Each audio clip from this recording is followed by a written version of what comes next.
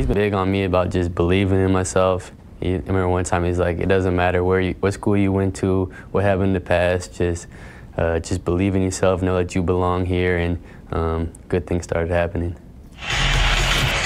Derrick White, in his college days, earned only a half scholarship, and usually when players sign an uh, NBA contract, they'll treat themselves maybe a new car, perhaps a new home for the family.